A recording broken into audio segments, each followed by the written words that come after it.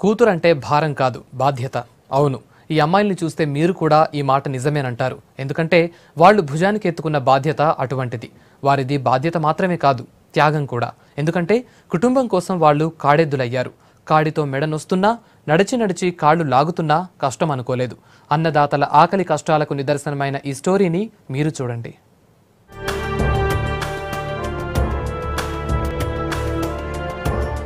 పైసల్లేక మధ్యప్రదేశ్లో ఓ రైతు కూతుళ్ళు కాడెద్దులుగా మారారు. సెహోర్ దగ్గరున్న బసంత్పూర్ పంగ్రీలో ఉన్న రైతు సర్దార్ కహ్లా ఇద్దరు కూతుళ్ళు రాధిక కుంతి తమ మొక్కజొన్న చేనులో గుంటుక కొట్టారు.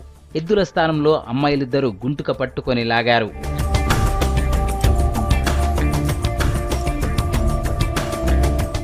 ఆర్థిక పరిస్థితి మంచిగా లేకనే కూతుళ్ళను ఎద్దుల స్థానంలో పనిచేయించానని చెప్తున్నారు రైతు. ఎద్దులు కొనేంత స్తోమత తనకు లేదని పంట పాడవకుండా ఉండాలంటే వేరే దారి కనిపించలేదన్నారు. డబ్బుల్లేకే పిల్లల చదువు కూడా మధ్యలోనే ఆపేశానంటున్నాడు రైతు.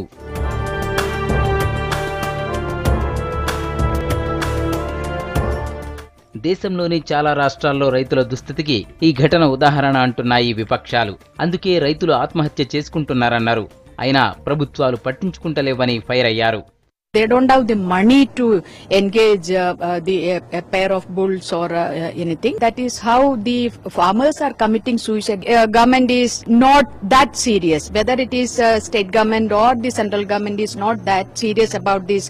The entire issue of the crisis in uh, agriculture sector as itself as a, a holistic approach is needed. एक बेटी को हल जोतने के लिए लगाया गया है एक बैल के रूप में लगाया गया है आगे और भी इस तरह की घटनाएं हो सकती है तो यह गंभीर विषय है जो मध्य प्रदेश के मुख्यमंत्री को गंभीरता से देखना चाहिए అమ్మాయిలు గుంటుకలాగిన సంఘటనపై స్థానిక అధికారులు స్పందించారు సర్దార్ కహ్లా ఫ్యామిలీకి సాయం చేస్తామన్నారు प्रशासन ने इसको पूरी गंभीरता और संवेदनशीलता से लेते हुए अ, मैदानी अमला बसंतपुर पांगरी भेजा था तो यह चीज सामने आई कि मक्का के खेत में जो खरपतवार उग जाती है प्रारंभिक दौर में तो वो कुल्पा नामक यंत्र है वो अ, कम श्रम साध्य होता है इसलिए उन्होंने अपने बच्चों को उसमें लगा लिया था किंतु संबंधित कृषक को ताकीद किया गया कि बच्चों को इस तरह के कार्यों में न लगाए तो शासन की योजना के अंतर्गत जो भी लाभ संबंधित कृषक को दिया जा सकता है उस पर प्रशासन कार्रवाई कर रहा है